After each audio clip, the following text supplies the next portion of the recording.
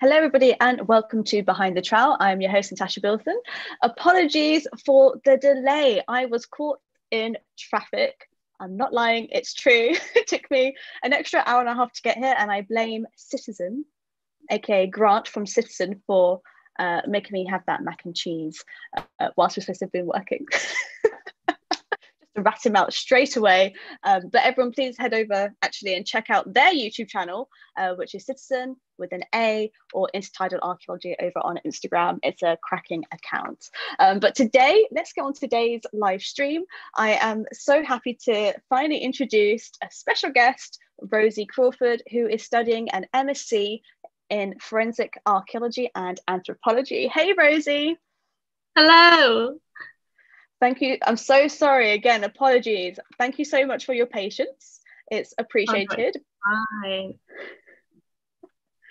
And um, you may recognize Rosie from her popular YouTube channel, which is now uh, known as Rosie Crawford, but you may also know it as Just a Little Roo, which is also her social media handles. And we do have the links to all of her social medias in the description below.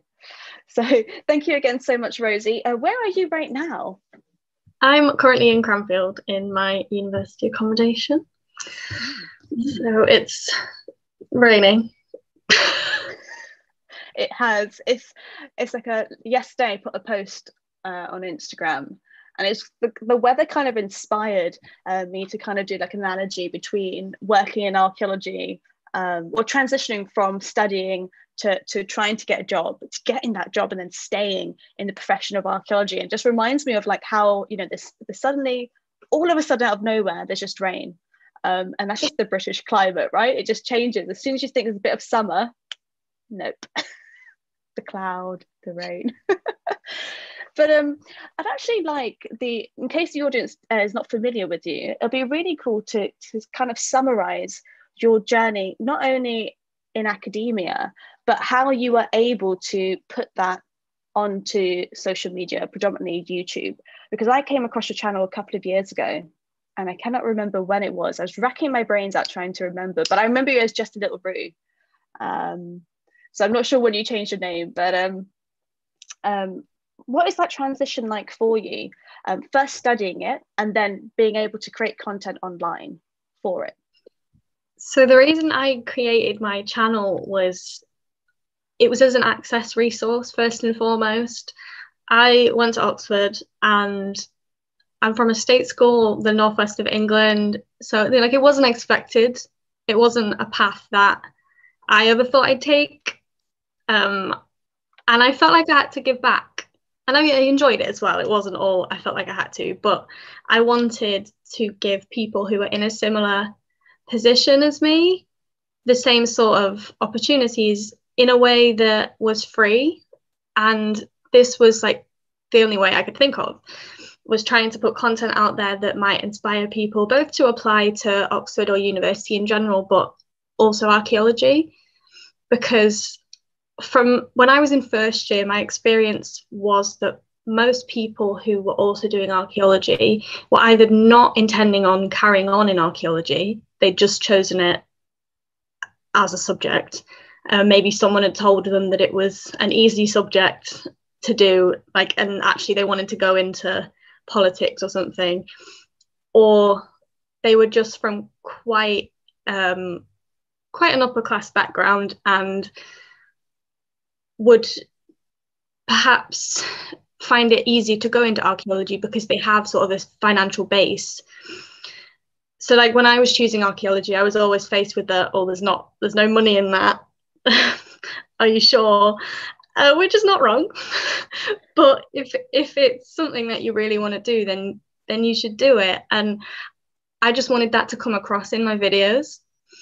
And more recently, I've tried to do videos that are sort of teaching, and that came about mostly because I well, I'd finished. I wanted to wait till I'd finished my degree first because I felt underqualified without a degree behind me.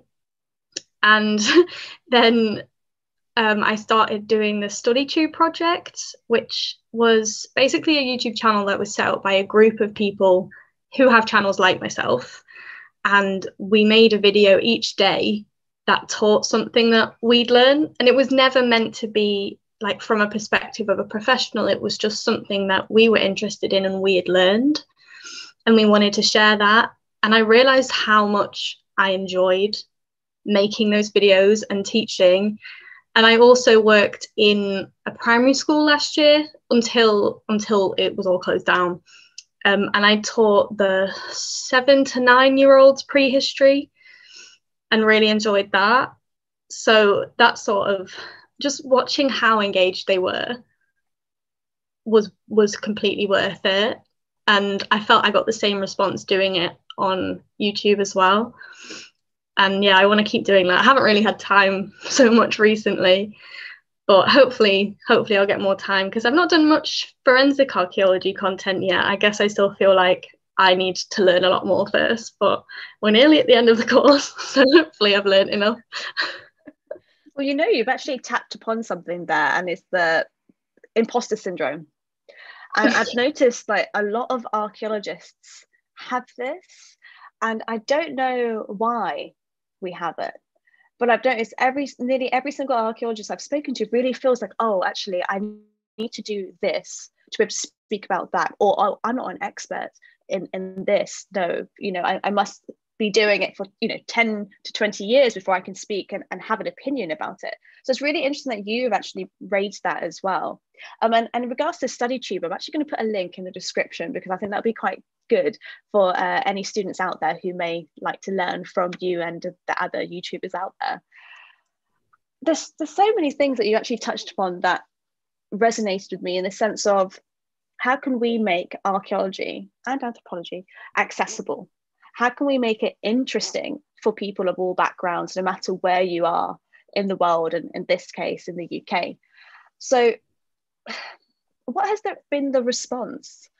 Have you noticed that, like demographic wise, of those who watch your channel and who maybe uh, talk to you on other social media platforms? Um, what age group are they roughly? Are they the sixth formers, uh, undergraduates? I thought that they were going to be GCSE to sixth form age mostly. I was completely convinced that that was who was watching my videos. And then I looked at my demographics and it's actually more 18 to 25. Um, and I get a lot of messages about going into archaeology for a master's level. I do get people asking about undergraduate, uh, a lot of international students, which unfortunately I can't help them as much as I'd like, but I can offer some suggestions as to things to write on personal statements and applications and things. And I think perhaps targeting it's hard because I when I thought I was targeting like 16, 17 year olds because the messages I was getting reflected that but actually when i was looking at my stats it was more older so i think maybe just the younger individuals are more likely to interact. So they're clearly getting something out of it. And maybe that is still their age range to sort of target. And social media don't want to like blow either of our own horns or anything but um, social media does get to young people. This is this is what they use. It's it's what I say they, I am also part of this. Like, we respond to it, especially if it's personal. So, like on TikTok, for example, there are quite a lot of archaeology TikTok profiles and anthropology, there's paleoanthropology as well. There's also paleontology and other sort of like niche interests. Just 15 seconds to a minute.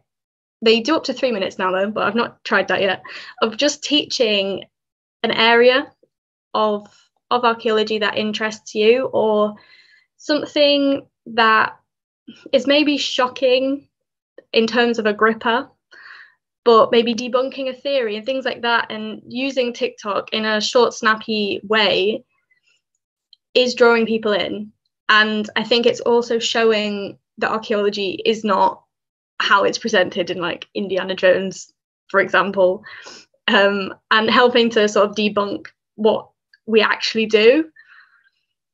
and I think day in life videos are a really good way of doing that as well because they're just honest and relatable and they show you as a person.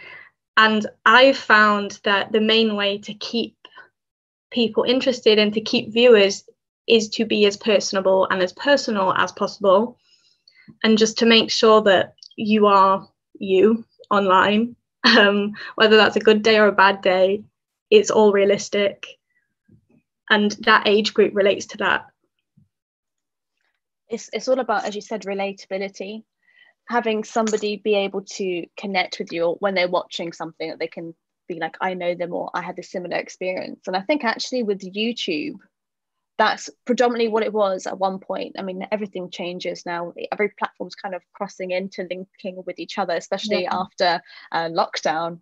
Um, but what you mm. said is so true about TikTok as well, and and how we can use it um, to debunk theories. It is probably like the best and most fun yet stressful place to do it because of all the comments that come in straight after. Yeah, um, it, it's just it's it's amazing but it, it's just one of those things that people don't understand is that there's so much that goes into producing a video whether that be 30 seconds or an hour um, yeah. especially when you yeah, especially once you want to do the research that goes into it and you want to show the resources you know all the sources that you use uh, and that that you recommend it takes time um, mm-hmm. and, and, that's what i've noticed about most of us who do archaeology and history content in general um, the ones who are coming from a, a, particular niche profession or specialism or uh, coming from an academic route um, i've noticed that's the pattern that we all have like we're trying to debunk uh, but we're trying to do it in a way where we show this is what our resources yeah. so you, you can't say that we're we're making it up now so if we look back to your time at Oxford University, you did a Bachelor of Arts in Archaeology and Anthropology. First of all, what made you choose that subject and how was the experience for you? I'd chosen uh, archaeology, at least. I'd got that in my brain of what I wanted to do quite early on. So I was maybe in year 10, so 14, yeah, 14 or 15. And I'd just always been really interested in history, but the history that was taught in schools just, it didn't really, it didn't keep me engaged at all. For me, it was too modern. So that was why I wanted to do archaeology more. Um, and I really enjoyed like human evolution TV programs and just more of the hands-on stuff. And history just did not do that for me because it, it just felt like it was more books and a sort of he said, she said type thing, um, as opposed to actually finding things and interpreting it yourself. When I was younger, I just liked collecting things. I was really into fossil hunting, um, rock collecting, that sort of lame things that children I still do now. So I am still that person. Every time we go we, to the beach, we all are. I'll be like, hmm, there's a shoe in the water. How old is that? Um, and everyone else just looks at me weird. But it stuck with me. And I think I've just always been curious about old things. And it probably stems from the fact that my parents are as well. And every holiday we've ever been on, whether that's an hour down the road on a camping trip, it's been centered around okay, what stone circle can we see? Um, what Roman ruin can we walk to? And what museum can we go to on the rainy day? And I think it's just kept my interest going the whole way through. Saying that, my brother's very much less interested and he had the same upbringing. So not sure what that's a product of. But it just it just stayed with me. And I wanted to do it at uni because honestly, I spent a lot of time thinking, oh, maybe it's too niche. Why, why would I want to like cut, cut myself off so early? And also, I wanted to do fashion for a time, but we'll brush over that. I really like creative subjects. I was a creative person and I wanted to I, I wanted to like be insightful and actually come up with ideas and things. And for me, archaeology just sort of gelled that together because it's not just looking at old things. It's not just digging in the ground. There's photography in it. There's illustration in it. There's there's a bit of maths and chemistry. And as much as I don't like it, it's dare I say the fun side of like maths and chemistry, like isotopes and things. And I'm really into bioarchaeology, which I looked for in a course at York. That was one of my options on the UCAS form just it just interested me. I don't know why, it just did. I liked I liked learning about how people interact with each other and the environment and what the evidence for that might be. And that was one of the reasons why I ended up doing archaeology and anthropology. And, and I chose it based on purely based on um, you know like the course pages on on the internet. Um, I read what like the modules were and it broke down what the core modules were, what what option papers you could take, and I chose the ones that had the most points on those lists that interested me and had the most avenues for things that I wanted to ask questions about. So, like, if I saw a few things on there and I was like, oh, yeah, I'd love to learn more about that because I want to know about this, I knew that would keep me more interested than a course in archaeology that I don't know was mostly about pots or buildings because I was interested in the people. And doing it with anthropology meant that that was more central. Now, I, I did enjoy social anthropology, um, not as much as the archaeology, but I knew that from the start. I was wanting to do archaeology, but there was a module on paleoanthropology. So again, like blurring the lines between archaeology and anthropology is sort of still where I'm sat now with forensic anthropology and forensic archaeology. So again, the the biological aspects and the interacting with the surroundings, but I didn't know we could apply that to a modern context until like my second or third year of uni. So you're not supposed to know like exactly what you want to do before you get there you change as a person and work out what you actually like and also find out things that you just did not know were possible for you to do. So i understand some people going into archaeology would be like oh i can only work in a museum or i can only dig because that's all that's really presented to people as like a standard career out of it. But actually there's so much you can do. And i just didn't know that until i got there like the amount of people now who I know who are actually in archaeology is quite small. I've got friends who did go into po- politics. I've got friends who are doing archaeological consultancy, um, looking at heritage, just like the general local environment. Um, yes, there are people doing museum studies as well and helping with repatriation and things. And it's just actually such a wide variety of things you can do. And I'd quite like to show that on my channel as well. Not that so, I have a career yet. well, so so archaeology is not as niche as you thought. That's what we take. Yeah. it, it's, it's it's one of those things. Uh, recently, I, w- I was in a conference and and somebody said that there's around 84 85 career paths in archaeology and i was like wow and then thinking about it yeah there's there's pollen experts yeah like there's, there's you know there's people who can look at a seed. You know these are like environmental or archaeobotanists um, we have various uh, names for them. Apologies for my cat. Um, we have yeah zoo archaeologists as well you know and it's just amazing what we can tell from material culture. Um, you mentioned uh, you like to look at the relationship between the people and environment. So how have you been able to to carry that on and that theme of that interest into your current studies of forensics at Cranfield?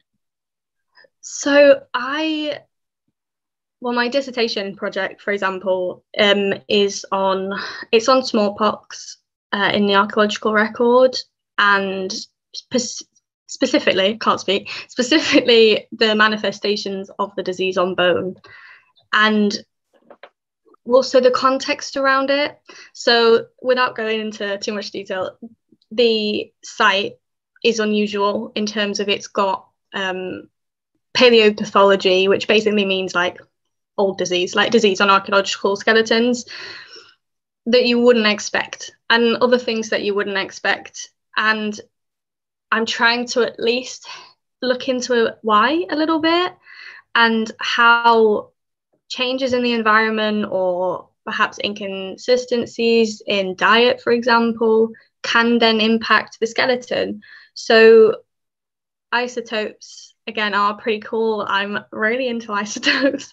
for example, if you lived in a certain place when you were little, when your teeth were forming, then your strontium isotope signature will reflect where the teeth grew. So you can see if people have moved during their life.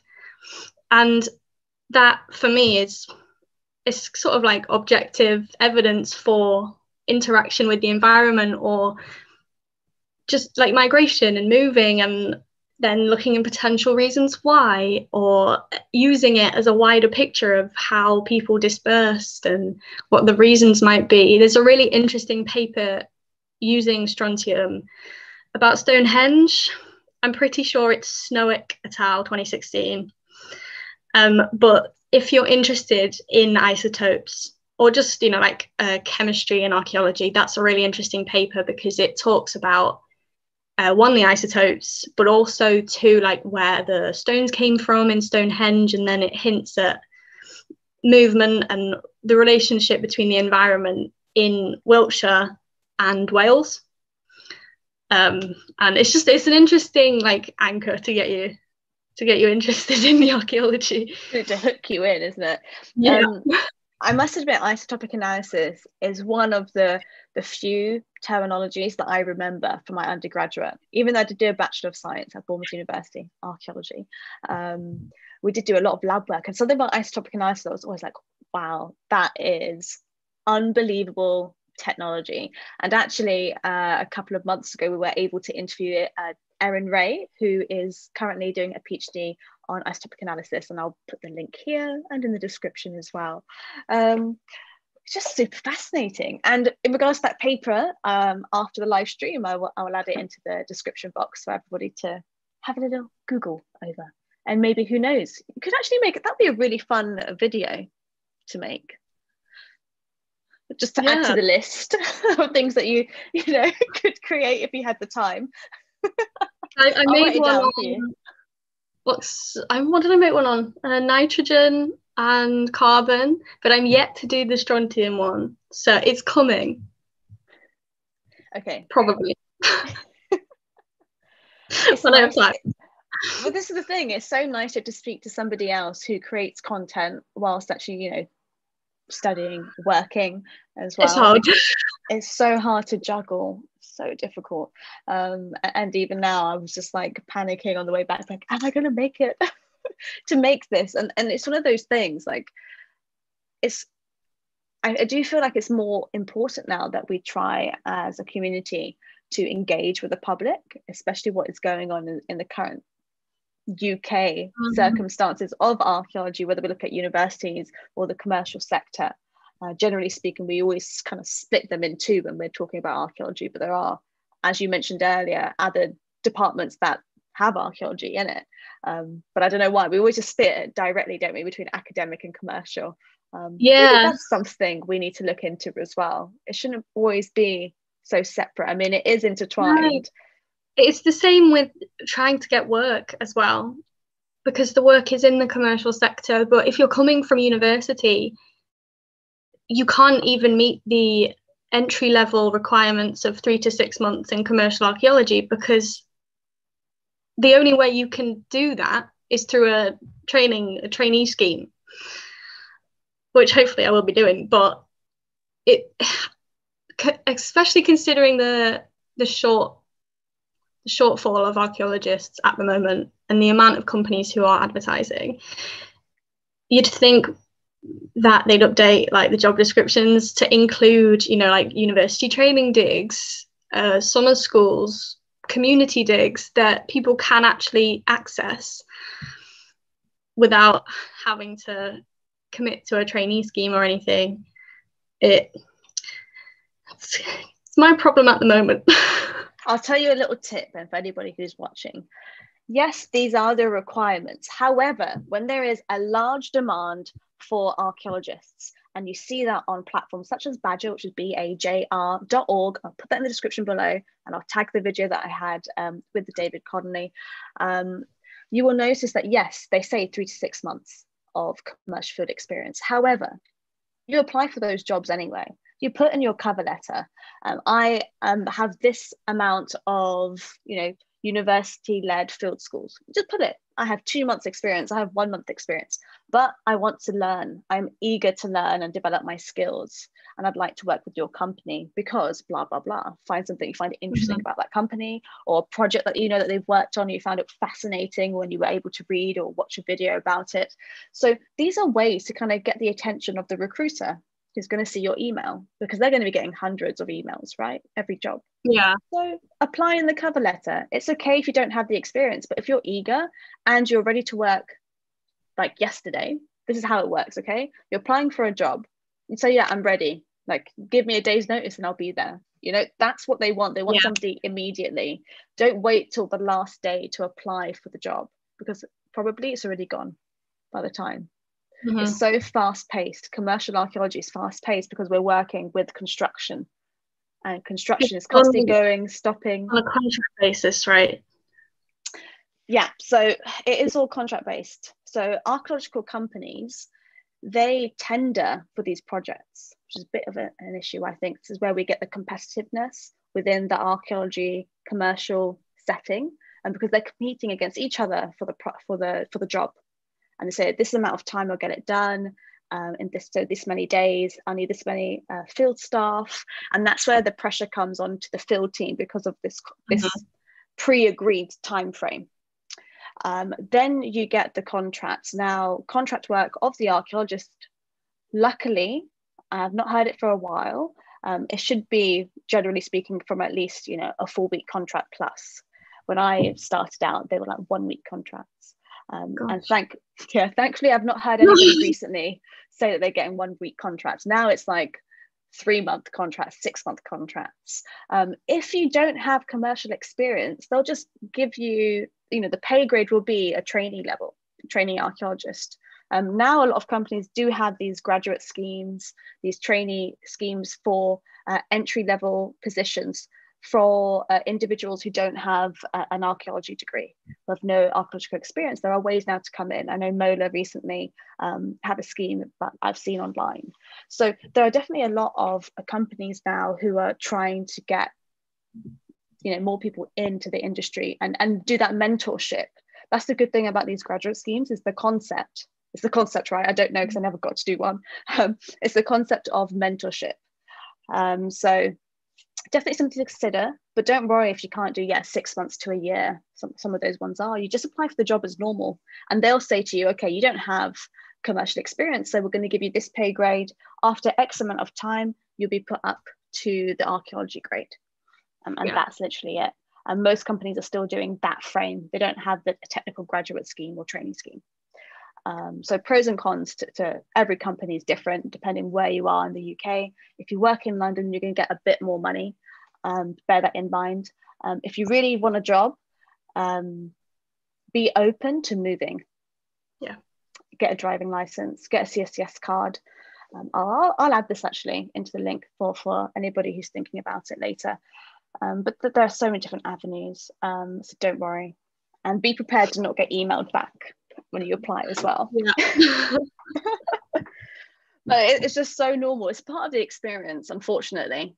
Unfortunately, it's a part of um, trying to get that experience. And with everything that's going on with lockdown measures, um, there's no opportunity to really go abroad. So there's more uh, yeah. individuals. So it is a shame in that sense, because at least you could look forward to going abroad. Have you excavated on international territory?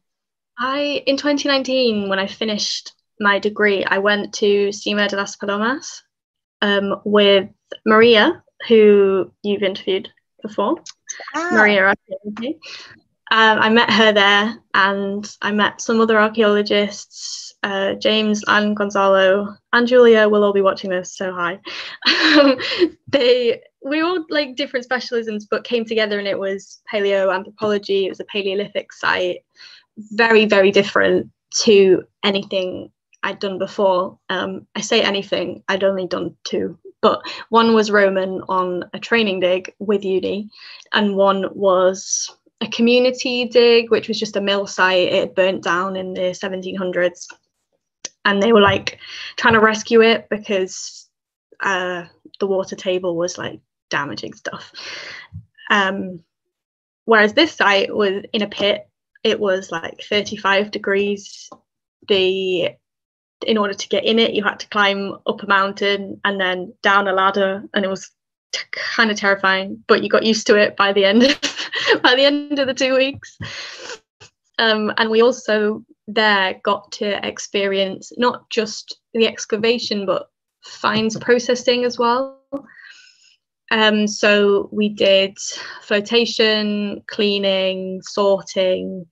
Um, by the end of it, I could put them into boxes of microfauna, macrofauna, tortoise. Tortoise has a separate box because there was so much of it. Um, fun fact tortoise was burnt on one side, so they thought maybe it was uh, a bowl that they'd cooked with the fire underneath. And it was Neanderthal uh, age, so I find that really interesting because Neanderthals get a bad rep, but there's so much evidence to say that they were pretty smart. um, and I found a lot of lithics, a lot of lithics, which was really exciting. So if you don't know what lithics are, um, they're basically stone tools uh, from we were 120,000 years ago on this level.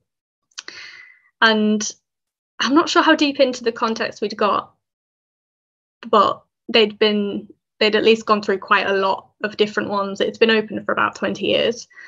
And at one point they did find a Neanderthal skeleton and another one that was a child, so an adult and a child. Uh, I was meant to go on one this summer, like in September. I was meant to be going to Sardinia to do uh, a Roman dig with Grampus Heritage, completely free and paid for by Erasmus. And unfortunately, um, I don't know what's going to happen anymore with Erasmus because it, well, it doesn't include the UK now. Um, but hopefully, hopefully they accept you for another one if they get to. Because I actually I did one as well. Uh, I went. I did. I went to Cyprus with Erasmus. Oh, brilliant! Experience. Yeah, I was really looking forward to it. And to be honest, even if it does still go ahead, they've extended my dissertation deadline, so I'd have to. I'd have to be like, I'm sorry, um, we were too disrupted during the year, so like I'm, I'm i need to finish my degree um, because I'm enjoying my research and I'd quite like well I want it to be as good as it can be. So I think I'll be working all the way, and then there might be potential for going to Sicily and then Austria with Cranfield's recovery and investigation of conflict casualties team so that's forensic archaeology, which you can't really get experience in without joining like these very specific organizations. And thankfully, because Cranfield have trained us, it's a bit of an in on that. Um, although there are outside people in there. So if you know forensic archaeology is your specialism, or archaeology in general, then you can always apply to them as well if you're interested in.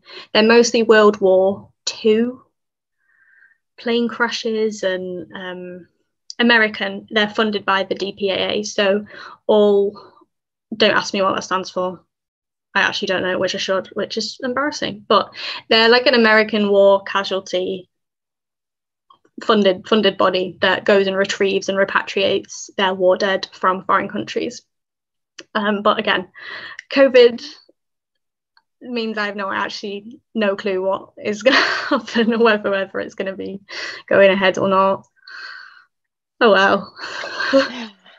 it's okay. There's other opportunities, and um, it's it's a, in a way it's it's great to show people that, as you said, archaeology is not all about digging or working in a museum. There's so many different things that we do and we can do um, to continue the profession and academic learning and research.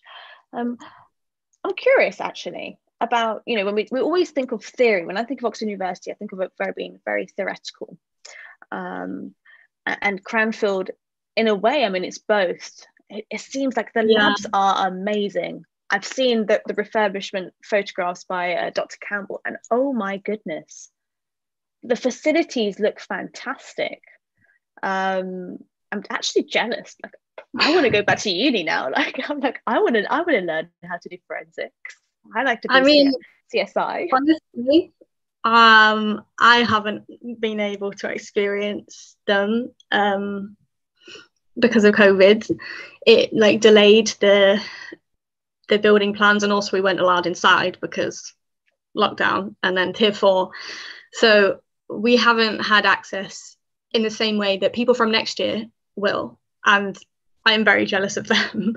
but this week we're just getting our postponed practical sessions from January in forensic anthropology. So we've been in the lab and not really doing lab stuff, but just analysing human remains, like and animal remains. But so far we've been doing bones based off photos.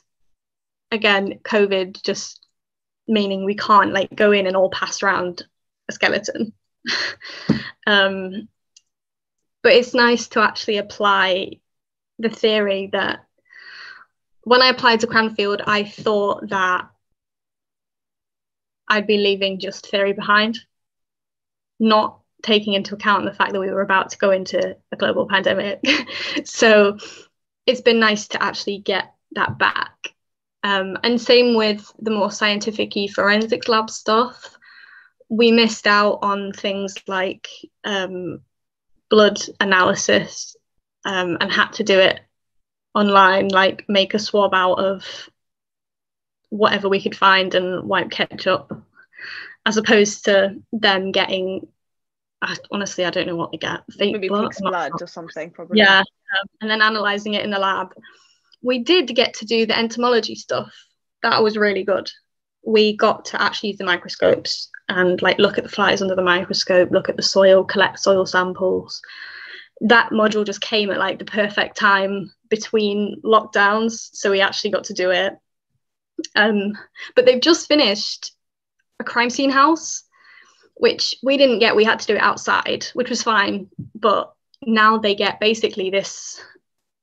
It's called Building 33 that's all I've heard it referred to as.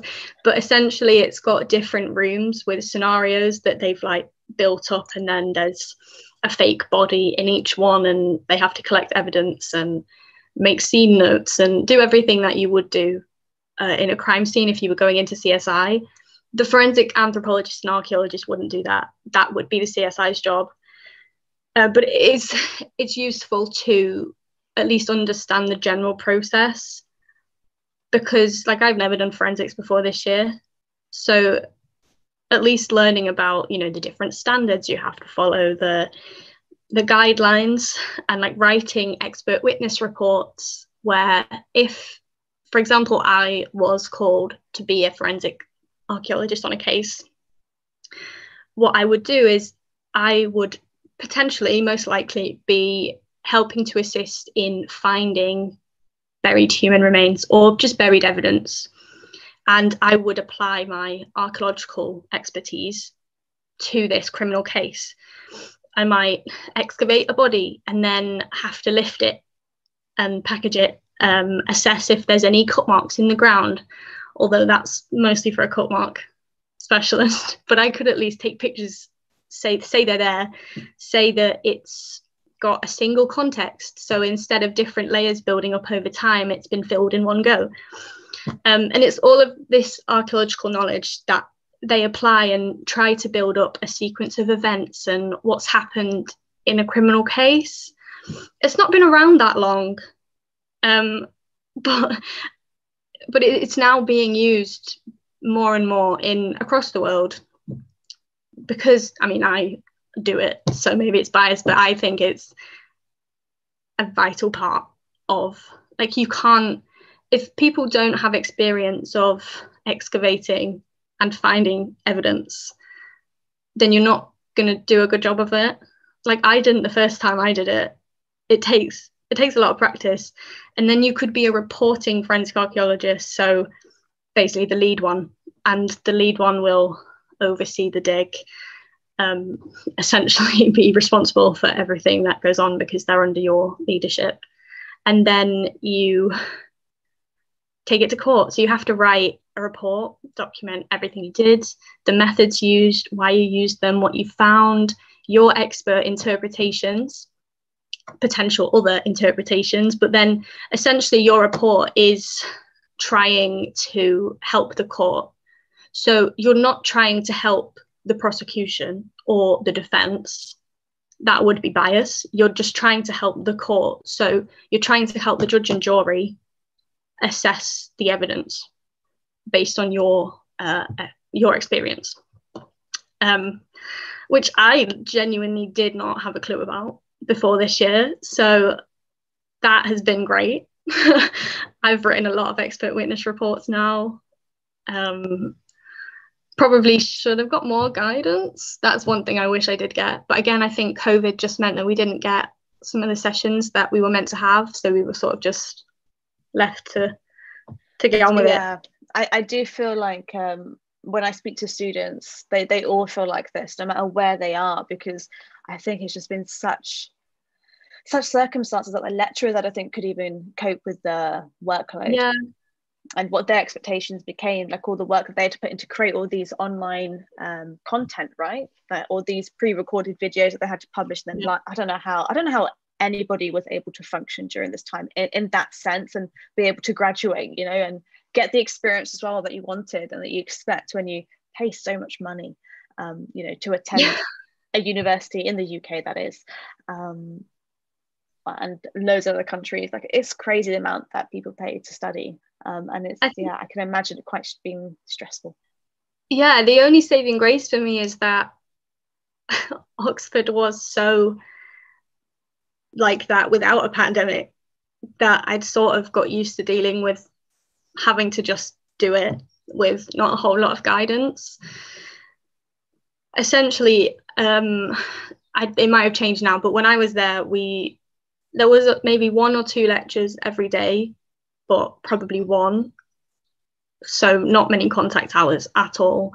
And then most of your learning would come from your tutorials. So you'd get two reading lists a week and you had to make two essays a week. Um, it tended to be two one week, one the next, but some terms it was two both weeks. And honestly, why?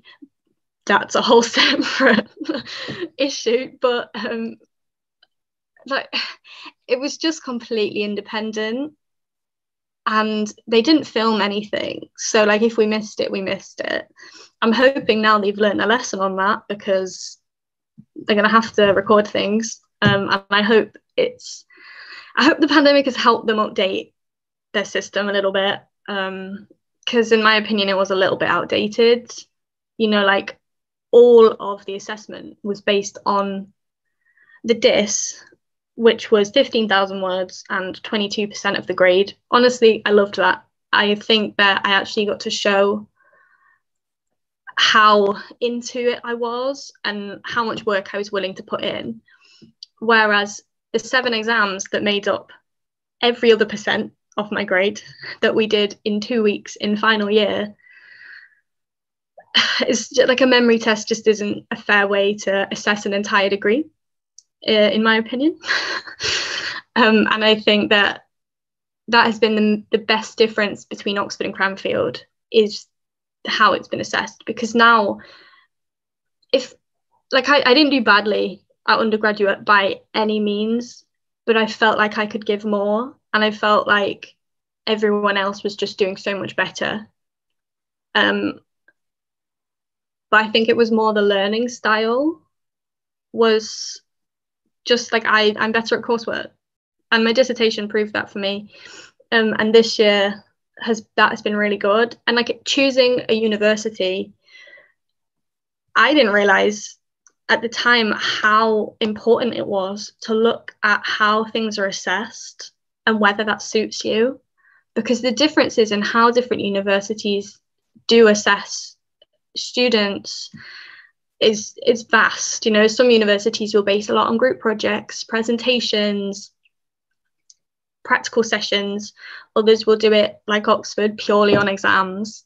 And I sometimes when I was there, I wished I'd chosen somewhere that had more emphasis on practical seminars and teaching you how to like actually do things that you could apply to jobs in archaeology, like uh, GIS software or mapping, using things like Inkscape or Illustrator to to do plan drawings.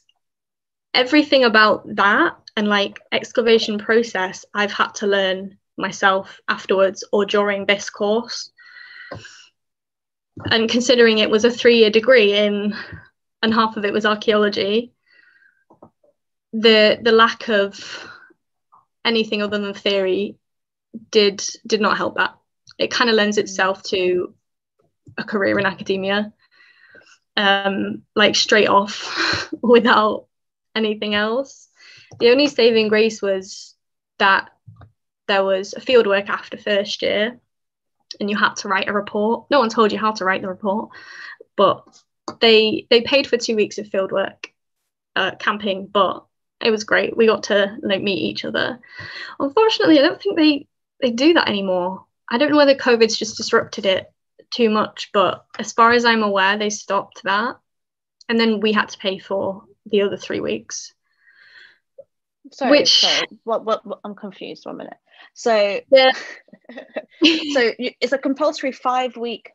Yeah. Dig, and they're paying for was, two weeks. So it was a two week dig, and then you were left to find the other three weeks. Oh right, okay. So okay. Um, so the two weeks was like the practice week, and then they'd send you off on your way. Mm-hmm. They they gave a small, like a small stipend. Uh, it's not even a stipend. It was like two hundred pounds, which doesn't cover a lot when it's three whole weeks. Um, but for me, I could only afford to get the train into Manchester and I live near Manchester, and that used up all of it for like my lunches, like a meal deal every day and the train fare. Whereas some people were going off to like Africa to excavate. Um, so like there's an issue, and it's not just Oxford. I've got other friends who did archaeology in different places, and that sort of elitism, it's both damaging and also makes it really hard for students who don't have the funds or you know like financial base to properly explore the things that they're interested in. And i don't think the pressure of it should be put on students as much as it is to to go off to places. I can't remember what university it was, but they expected you to pay for the, the entire five weeks. I think it might have been Edinburgh. Which uh, you just uh, wow yeah not everyone i mean it's crazy actually when i mean i re- i knew in, in you know i speak to friends in, in america they had to they were expected to pay as well for their field school. Um, but at least in the uk i thought that we had that people would have a little bit more support. I guess i was very fortunate to go to bournemouth um, because we had a five week dig. Um, and that's it. You just go to uni. There was a bus for you. You jump in that bus go to site, you know, you come back and the, the bus drops yeah. you back to the university.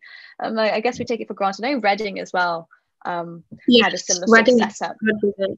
Yeah. Um, as well. Everything's in with it, like that's in your course fees. Um, mm. But I don't know, maybe it's. It's there it's are like a lot of universities. It's an issue, I think. I'm curious. So, okay, so with Oxford, you only had to do one year well one in your first year you had the compulsory field work that you had to take part in. And, and that was it. So five weeks yeah. basically in, in the three-year degree five weeks. That's quite interesting. Um yeah. See i'm trying to remember because it's, it's, many moons ago for me. Um if i remember correctly first year and second year we had to get um, five weeks but then we had the option to actually go on the the dig that was facilitated at the university. Uh, it was run by Dr. Russell and Dr. Cheetham. Um, awesome site. Sorry to rub it in. it was a great site.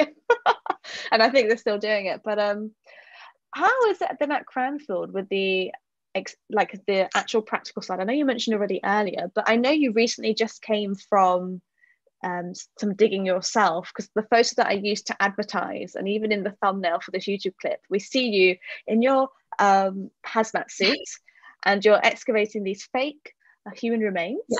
Um, what exactly did that part entail, that part of the workshop?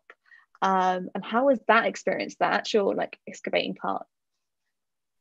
That has been the best part um, by a mile. So the practicals excavations that we've done, we did one in November. That was just forensic archaeology. So that was a single grave. Then I took the practical archaeological excavation module. So we went to um, Northamptonshire and excavated a site, and it was a new site, which was exciting. And they've said we can like go back next year and stuff. And that was in with it. And they, we basically like were taught the basics again, but I feel like you need to just be taught it over and over because it's so complicated. Like filling all the forms in, labeling the bags, getting the symbols right. It's a lot to get your head around if you haven't consistently done it for a long period of time. Um, and that was a Roman one, so that was like archaeology. Archaeology, we didn't have to wear the suits or anything. And then that was five days, Monday to Friday, and then we started next module on the Monday. So that module was mass graves, again forensic archaeology, but it was taught by a tutor who has basically been doing that for a lot of years. Um, he's excavated in Bosnia, and we were sort of replicating that.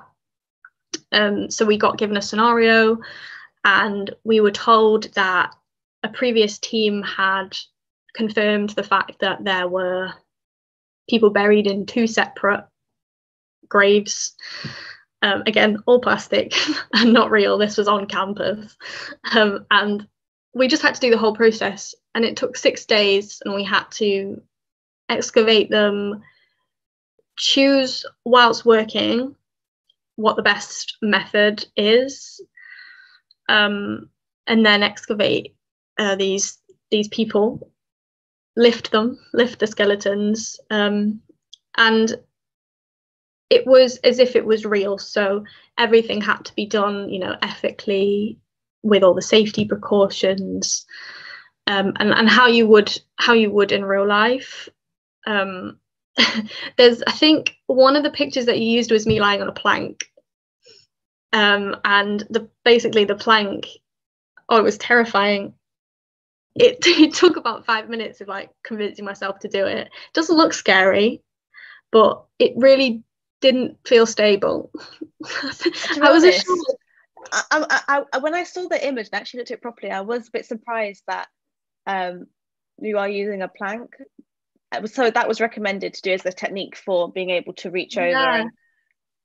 Because in in forensic archaeology, um, particularly in the mass grave excavation, the aim is to recover the people and to get them back to their families and identify who they are.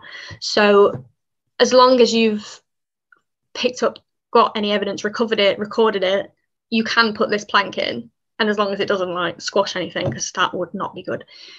It's the best way to be able to like clean and get behind uh, clothing or any bones that might be in a weird position, and to actually be able to clean it enough to photograph it, take points of each like aspect and properly mark out where in the grave things were. And because that skeleton was in such an awkward place, I think it was the only one that needed uh, the plank. Just happened to be the one we'd been allocated. to Typical, but it was it was fun to to experience that. Um, I didn't think that like when they'd been saying for days, "Oh, we can get the planks out," and it just didn't register in my brain that that's what they meant at all. Um, and yeah they're kind of like having to like dive on not dive but it felt like it felt like a dive onto it it was a bit scary but fun all part of the experience yeah and we got to survey as well so they taught us to use the total station and gnss again i don't know what it stands for but it basically measures the coordinates. I assume you probably do know what it stands for. Yeah, you're on about you're on about the one from your picture, the global navigation satellite system. Yeah. Yes. Yes, I do know stuff. I, yeah, I think that's what it was. So it, it, it, makes sense. Um, actually, just before I forget, because I keep forgetting to say this, everybody, don't forget this is a this is a live stream, so it's interactive. If you have any questions for Rosie and myself, please put them in the chat box, and we will get to them. Quick shout out, hello to Anthro Joe, Nigel, nice to see you both. Thank you for your comments as well. Um, Nigel, I must admit, quickly jumping back about the about the turtle shell, um, I have heard about turtle soup. Um, I remember traveling once. Um, where was I? I can't remember where I was. Um, and actually, they would use the the shell of the turtle. So when you actually mentioned about the bowls, I found that quite interesting. That yeah, it's it's amazing how human ingenuity and like you you know you try to use what's around you um, and how we're still basically doing the same thing in, in a way in certain parts of the world. Um, yeah, it's my like party fact because I found it so cool. I tell it everybody. It is really interesting, uh, especially in the Neanderthal site as well. Um, that's fantastic. Um, really, really, really interesting. Yeah. I'm literally sat at my table with some lithics as well. Classic archaeology person, just like these, for example. Oh, Where's my so when when I was saying lithics, these aren't Neanderthal, these are later, but this is the sort of thing that that's what I mean. Like little stone tools. Someone gave me these. Someone on on the dig that I was doing um, the Roman one a few weeks ago, there was a guy there who was like a local um, and he was helping and for some reason he's got loads of these and realized I liked them and just brought in a box one day. I was like, thank you. By the way, that, that's that's a, a good thing to raise. If there's anybody watching and they find this for UK based folks, if you find something whilst you're walking, like um, on the shore, wherever you live, um, and you find something like these lithics, um, it would be great if you could note the location of where you find it and then tell your local PAS officer, which is the Portable Antiquities Scheme, um, generally the local museum, you'll be able to find uh, your local representative where you can Google. And actually, I'll put them in the description below. Um, because for us, you know, sometimes when people are field walking, that's actually a technique that we use um, when we're trying to stake out an area. If we don't have drones and, and other things uh, like LiDAR to, to scan the area, um, field walking is one of well, it's the cheapest um, way to, to, to stake out an area of potential archaeological site. So if you were to find something in your land or you're just going for a walk, please just do like a geolocation and send that information um, because you never know. That could be the small piece of the puzzle that changes everything. From yeah. a forensic perspective as well, um, similarly, if you find bone that you're pretty sure is not animal, um, hopefully you never do. But if you do then take a photo of it exactly where it is just so there's like contextual information so that in case it gets moved after that um, you've at least got that evidence and a timestamp of when you found it. Don't send it to anyone uh, other than like the police but call the police there and then and then they will contact like a forensic anthropologist to check it for you. Um, but it's it's important that if you think if you do think that it might be like a human bone, for example, to report it and not just pick it up. Because it could be really old and therefore an interesting site, but not forensically important, or it could be forensically important. Um, yeah, just don't run away with it and if you can wear gloves, then wear gloves, but taking a picture of it's more important.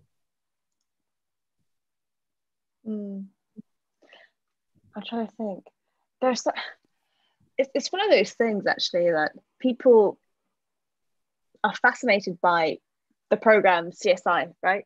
Um, yeah. And they don't realize that they could actually take a career that kind of combines past and present um, and do forensic archaeology and anthropology. Um, I remember mm. in the undergrad we got to touch upon it and actually forensics was born the study of forensics was born from archaeology. So there you go. Not like i, I created it but there you go. Bournemouth was one of the first courses for forensic archaeology as well. Yeah yeah.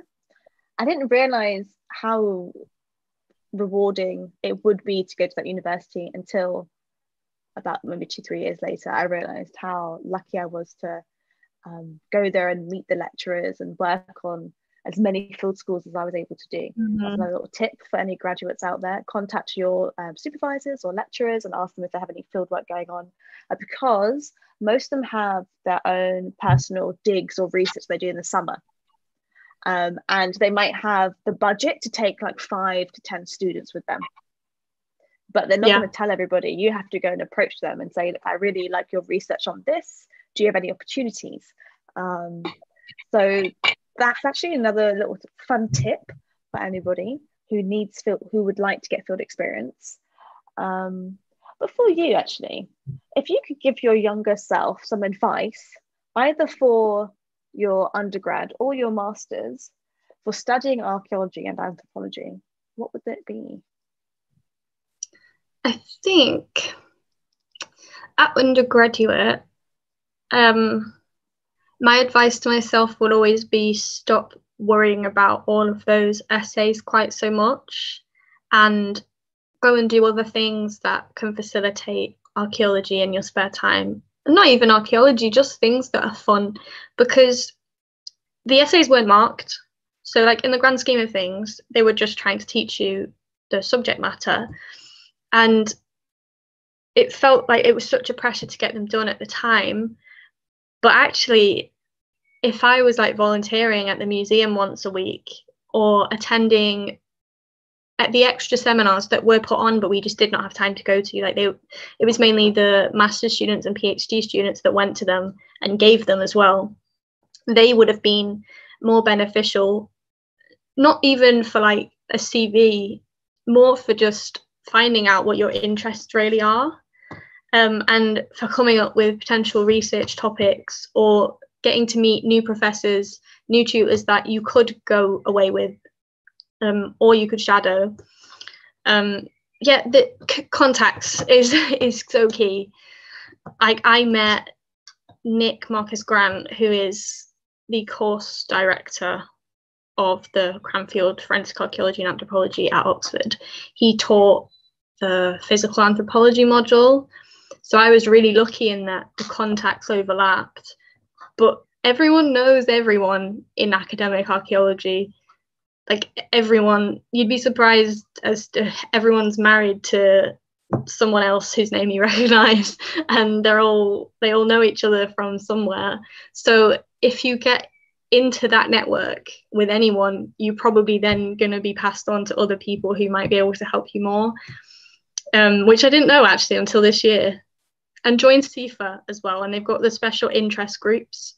Again, I didn't join CIFA till this year because the, the thought of paying for it was really daunting to me. But actually, it's been good. Like the conference, um, the jobs list, just the, spe- the special interest groups. There's one in forensic archaeology. I'm also in osteoarchaeology, early careers, community archaeology. There's loads. And again you just get to meet people. Um, another one if you're interested in the more anthro stuff is babao it's b-a-b-a-o and they're again another society. They have it's cheaper than CIFA there's also like a student uh, version of it which is it's like 10 pounds a year i think and you get to do social events like quizzes um, and meet all of the people that I mean, I idolize, and I just get to play a pub quiz with them, and it's it's pretty surreal, but it's great. Like they are just people, and once you get all of the Babao emails, they advertise jobs, different courses that you can do, um, events, get-togethers,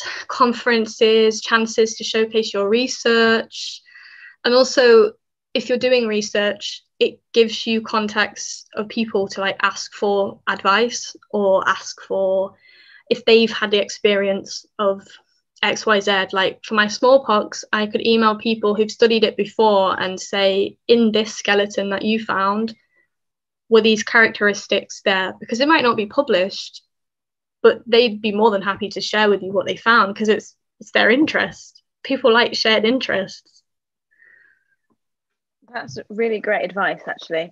Um, join yeah join local networks or join organizations and institutions that could help you network with individuals as you said like-minded individuals with similar interests. That's what it's all about in the end. And i think actually that's what makes archaeology such a lovely place to, to work in in general because we all have these like similar yet niche interests. And when you combine that all together you start really to put the, the puzzle pieces together. And a part of archaeology anyway is interpretation.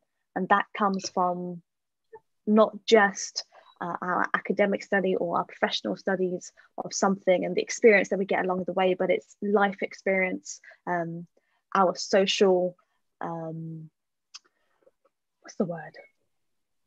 Even one's social barriers or the, the society that we live in and that that sort of the concept of how we grow up and how we think also helps us understand the archaeology from a different point of view. Um, and that's very prominent in indigenous archaeology studies right now. And um, we see a shift actually yeah. if you interpret it this way i grew up with the, a similar culture and actually this is what it means that. Um, so I, I do think there are sometimes conversations do go a long way. I get that the comment basically what you just said. Um, so i've made videos on books to read for example and i'd for example said in one of my videos like at the end i actually didn't realize that these were all written by the same demographic of person. Um, so I'm going to make another one. And half the comments are this was great until you said that they're all by men because what what difference does it make you're just being sexist and i have to explain to people over and over again that we all have different lived experiences people who write a book are coming from their own perspective and the perspective of a man is different to a woman. A perspective of people from a different racial background is going to be different. Religion as well, it all plays a part. Um, and I think that's it's a message that people are trying to get out, but I don't know if it's understood completely or whether people are just playing devil's advocate. a bit of both probably and yeah. I, I think i think what happens as well when something becomes fashionable um, it becomes an issue in the sense of when we're actually trying to make um, a sustainable change in a constructive way. Um, it becomes difficult when uh, it is fashionable to do it as well or to speak about something because um, the message does get construed and, and people think one's intentions are different than what it is. It's, we're not going by a hype um, this was mm-hmm. happening mm-hmm. a long time before. It's just now people are understanding that there is a movement within the archaeological uh, sphere of how we interpret something and how we document something. Um, so it's that's that's a kind of yeah, it's really interesting. It's social change. Um, it's also what we document in a way. Um, so yeah, it's I feel like this conversation going for hours. It's one of those things where there's, there's you know there's so many different aspects we can look into how and why we study archaeology and anthropology. Um, but I think it comes down mm-hmm. to our wanting to learn more um, yeah. and and make a better world. You know, like as a society, we should be doing more together to, to benefit each other, not just a certain minute uh, individuals. So it's just so many things that you said. I think the things that we need to kind of think about it's um, getting rid of the, the barriers that students uh, and young uh, was it, I think the technical term is early career paths, early career journeys of individuals, um, early career professionals. That's the correct term now. That's that's the new term. I was trying to remember it.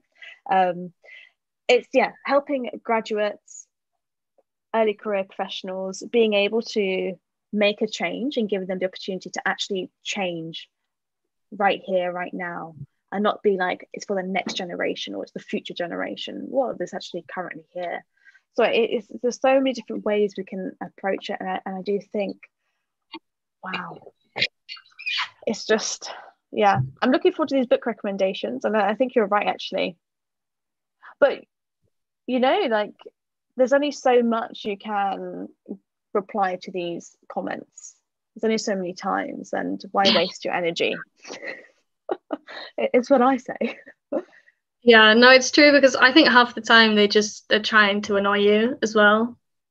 And it's it's sometimes difficult to detach yourself from i mean they're not hate comments by any means um, but it's sometimes hard to judge which comments are sincere and which ones are just posted to get a reaction. And that comes mm, with experience. Um, i'm still not great at it. And i've been making youtube videos for like five years but it's it's a hard one. I think you're always going to get um, it's always going to affect you if it's something that you spend all of your life like working on. And some people just are purely interacting to like try and prove you wrong. People who are genuinely interested are not the issue by like at all. If you've got a genuine genuine question or query or you don't agree with what someone's saying then great it's it's the people who are purely trolling. Mm. Just and it's one of the downsides of making of making vampires. yeah yeah um there's a really great comment here uh, thank you joe for this recommendation um, who's just saying American anthropology benefited greatly from the work of Margaret Mead and uh, Zora Neale Hurston. Apologies for mispronunciation. Um, but I think that's brilliant. Um, it just goes to show sometimes the more voices we give or the platform to allow these voices to be heard, I'm sure our interpretation and the many books that have been published and the articles that have been published will change. And that's okay. That's a part of um, understanding. That's a part of knowledge in itself, right? The how it evolves. It's uh, it's the fun bit and the not so fun bit when you spent, you know, half your life researching something and you realize you were wrong. So that's life. and um, kind of to, to, to sum up our, our conversation today, um, moving on, like what's the next step for you? Because obviously, to be honest, like I would I would love to see more of your journey at Cranfield and studying forensics there. I think it's just so cool. Very rare actually. I don't think I've met a forensic archaeologist. I mean, working forensic archaeologist. So, what is your next step? I'm hoping um, to, so like for the, the near future, um, if my dissertation goes well, I'm hoping to take some time to like try and convert it to a paper or two, um, because the subject area is is so niche that not many people have covered it before. Um, and then ultimately, I want to do one of the graduate trainee schemes, preferably the Oxford one, purely because I have a base there. But it, I just think it will be great to like really learn on the job and learn about commercial archaeology. And one of these trainee schemes is it's a way in, but also I think it's a nice way in. Like it's not just uh, I, I'm more qualified for the trainee scheme. It's like I will actually be taught everything, and it'll be more of an easing into like a, a proper job as a sort of half half student, half uh, archaeologist. Um, and then that's like six months. Um, I'm like, ah, I would like to do a PhD. If you'd asked me this during my undergraduate, I'd have been like, absolutely not. No, thank you. because of so much work. But now my my dissertation is my favorite part of my masters. I really like researching. I like trying to solve like the problem of like filling the gap in the research and for me, doing a PhD, I think, would suit me. Um, the the issue is one funding and two, what on earth do I write about? but my interests are in like non-adult bioarchaeology. That's what I'm really like keen on. Um, honestly, don't know why. but I think it's because it's like growth and development and so much changes in the skeleton in non-adulthood, childhood. It's just like the bioarchaeological term for it. Um, and you know, where does where does adulthood start? What is the correlation between being an adult culturally and being an adult in the skeleton? Um, all of that really, really interests me. And if even if I don't do a PhD, I'd still be looking into that. Like I don't think I'm ever going to stop that. That's a really Maybe interesting I'll be, subject. Yeah, it's quite random. Like if if people are like, "Oh, what's your so. interest?" and I'm like, "Uh, dead children." But it's not just that. it's quite philosophical what you just said. Like, when do we become an adult? As you said, you're looking at the physical elements, the actual skeleton itself, the skeletal remains. But then on the flip side, a lot of us refer to being an adult as as mentally right? The mm. way we approach something, how we speak, how we converse, um, what we do for work, whatever. You know, it's like social constraints. So it'll be interesting to see actually what comes out of that if and when you do it. Mm. Very interesting. Yeah, and actually, you just reminded me as well about how uh, children are not as well documented um, in archaeological reports.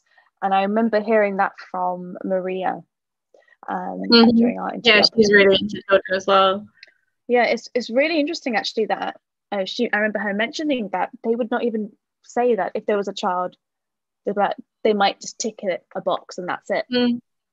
um, so it's quite interesting yeah that's when when we're excavating human remains on personally I do find it yeah when we excavate you know a neonate a juvenile or adolescent, um, for different age groups. Um, basically, everything from um, a baby to 11, 12 years old. Um, it's really, really interesting because you're, you're looking at that individual, you can see the size, and it's, it's so much more, I think.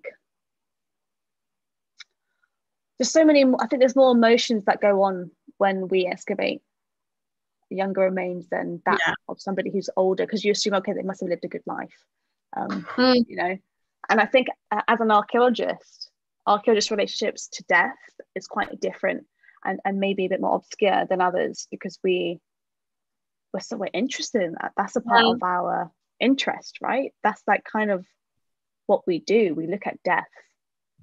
We look at yeah that's funny you point out actually because i was just thinking one of the reasons that that like child bioarchaeology um i think it intrigues me is more because no children should end up in the archaeological record.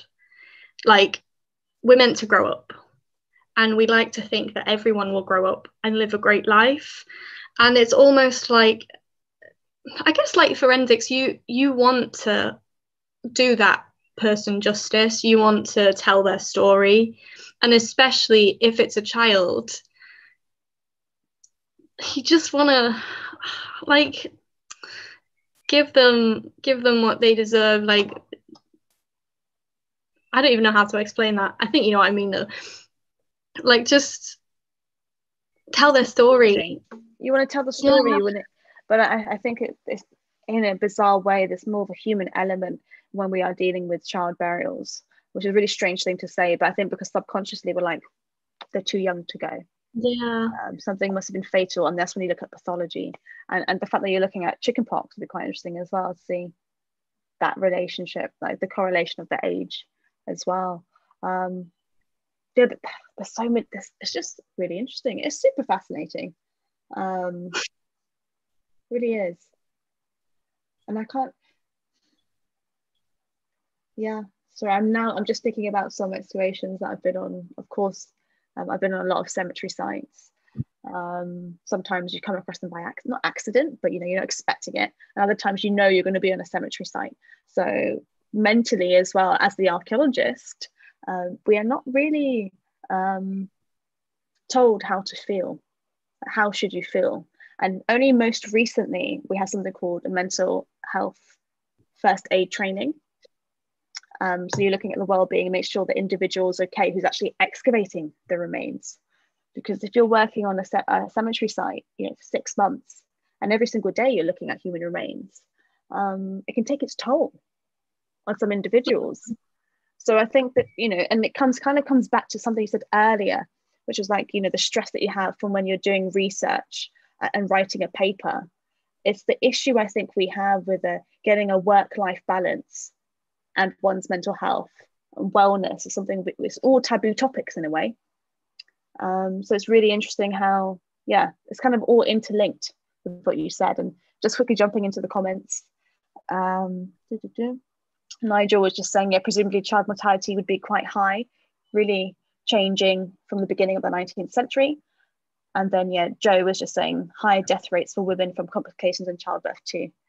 Yes, I remember my first dig, and there were so many different theories about why um, there were, yeah, there, there were women who were pregnant that we had found, and there was a large um, area of women and of children as well. Um, and all these theories come up with, you know, why is that? But actually, it could come down to complications during childbirth.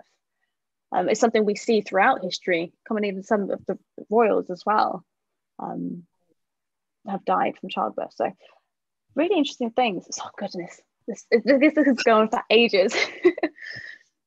and yes, Nigel, reproduction does seem surprisingly dangerous for our species. You are correct on that one. it is really fascinating. You can see why people really do take to studying osteology and, and human remains in general. I must admit, I did choose at one point GIS over it, and then I went back to it because um, I thought, you know, GIS is where the money is, so I need to learn how to do GIS. But actually, with what I ended up doing, um, human remains and learning that that was was more important um, and the skills I've developed over time. That's, as you said as well earlier, um, literally field experience. No, Joe. I'm not. I'm not even going to say that, Joe. Um, um, actually, I misread that. I thought it said something else. Have you ever heard? I'll tell you in a moment. Actually, offline. Um, Joe, I'll, I'll message you what I thought that I said. but um, yeah, so it's just one of the I've actually forgotten now. Joe, you've you've lost my train of thought. My amazing epilogue has been ruined. but no, what was I saying? Oh my goodness! Apologies, everybody. My my brain is frazzled today.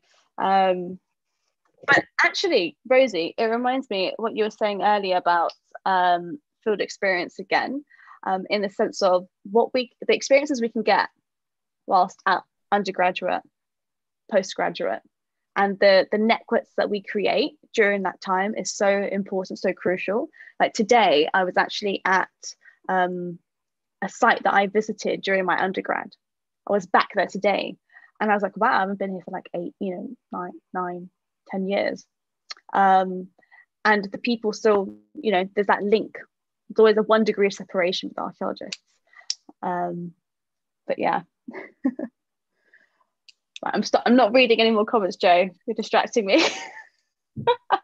but before we sum up, because I just realised the time, apologies, Rosie. Um, is there any last questions for Rosie? And is anything, Rose, that you'd like to add while we're waiting? Maybe about uh, social media wise, what you hope to do next? What video do you have for us? Uh, I have a vlog well, in a sense, I didn't film as much as I expected to, but of my dig week, I need to get around to editing it because it takes so long. um, and the thought of starting it is actually really daunting, but I need to do that. Um, the I've, the issue I've got is I have to like blur out all the background and because it's a new site there can't be any chance of someone like working out where it is basically um, just in case, because we don't really know what's there yet. Um, and then I need to do some more vlogs generally. I've been planning to do like a series on more teaching stuff for so long and also like a reaction to bones because i've never seen it and i've been saving watching it until i could react to it like with friends like once lockdowns ended um but i haven't got around to it yet so you can expect that at some point. and probably good. a good reaction to csi as well but I'd need one of my friends who did, who actually did like CSI at undergrad, because they know a bit more. That'd be cool. I do love reaction ones. Yep. So great question from Joe. Best strategy for fighting history of misinformation on YouTube. It's a difficult one because there's always going to be different interpretations of of history um, so you can't just straight up tell people that they're wrong because we weren't there you know um, we don't know we're right and that almost makes an us and them sort of thing like we we can't have a superiority complex. It's a privilege to have the knowledge and the the ability to to do archaeology in the way that we do and gatekeeping it is not going to help anyone. But also I've had comments, for example, where on on my teaching videos, um, where and it is it is men um, write paragraphs and paragraphs and paragraphs about how how uh, I'm wrong um, and how in their in their work in their book that they wrote which is fictional and actually they don't have any background in archaeology.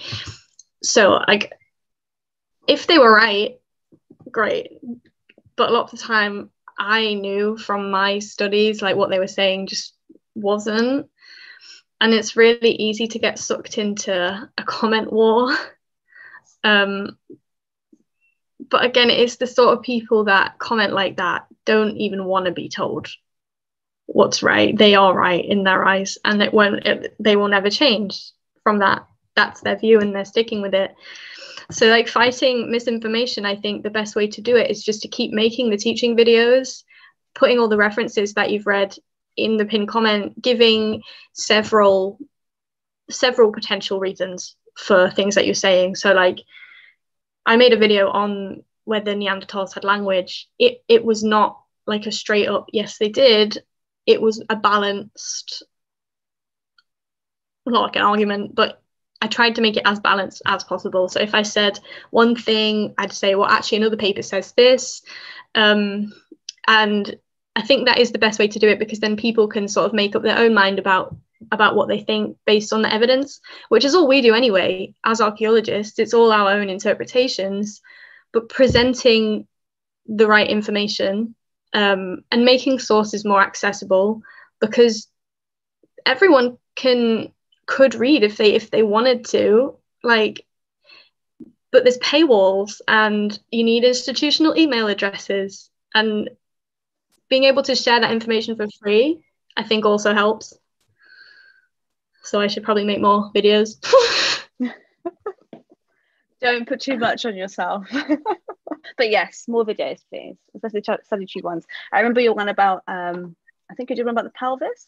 I think you were doing one yeah. about how to, how to, yeah, how to sex a um, human skeleton. I think that was great. I liked the drawing. Did you draw that as well? You yeah, took ages. Had a lot of time on my hands in, in lockdown. well, we have gone past the hour and 30 minute mark. Um, Rose, it's been an absolute pleasure speaking with you today. And thank you for everybody who tuned in uh, and for your contributions in the chat. Don't forget to hit that like, share, and subscribe button and head over to Rosie's channel uh, for some more in depth discussions that she may be having and some book recommendations and her experiences as now a master student at Cranfield, but also you can go back and see her time at Oxford University. So, for anybody who's looking into studying archaeology at those institutions, for instance, can look at that as examples or just in general. So, you want to study archaeology? Mm-hmm. You know, mm-hmm. why? Well, here you go. Have a look and, and think about it. And I know we never actually got onto why you study archaeology, but that's not the point of this conversation. This conversation is to show that we are individuals And there are so many people out there who are studying, who are working in archaeology. There's just different avenues that we all take. And everybody is unique, everybody is different. Um, you just got to find your career path. So thank you everybody so much for tuning in. Rosie, is there anything else you'd like to add before we wrap up? No, I, I think I've said everything. Not that I can recall everything that I've just said. thank you for having me. It's been great. Well, no, thank you. Thank you so much for for coming in and, and apologies uh, for having to push the live stream. But uh, I must tell everybody a secret. We were supposed to have it last week, but the football was on, so football took priority, and we won. So it's okay. it was worth it. but I don't know actually any of the footballers, so I do need to do my homework. Um, but anyway, thank you everybody so much for tuning in. And we will put the recommendation links that Rosie has mentioned and also what I mentioned in regards to getting a job in archaeology um, in the description below. So that'll be updated within the next hour or so. So thank you everybody so much for tuning in. Keep up to date with the channel by hitting that bell button. Um, I do have a change in the schedule coming up due to my work commitments. Um, but if you head over to YouTube, uh, my Instagram account, you will see generally every day kind of what's going on and why I'm being so all over the place and disorganized. But it's out of my hands, literally, because archaeology we cannot control, and construction work is uh, definitely a, a, another topic of discussion. But thank you all so much for tuning in, and we'll see you all next time. Bye, everyone.